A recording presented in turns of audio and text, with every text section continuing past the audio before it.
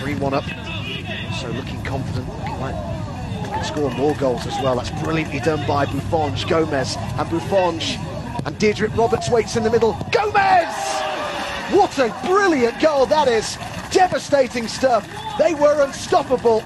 And it's Angel Gomes, after last week's hat trick, who gets on the score sheet again.